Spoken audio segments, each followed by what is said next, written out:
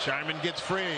Touched it off for Green in the corner. Scheierman's And he's got five 20-point efforts already.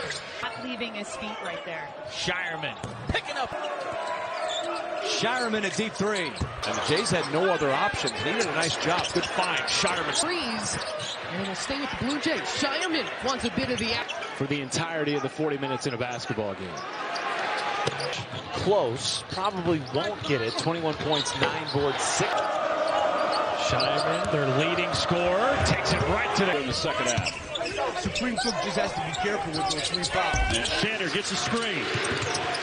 Three to shoot. Scheierman. Everything's gone their way. Right up your alley, huh? Scheierman. Like you said, it's just been blowout city. Scheierman off the bounce. Scheierman trying to get something going, and that Tough games, particularly the one at home to Butler. Uh, Nigel Thad Modestin just could not miss. Oh, my.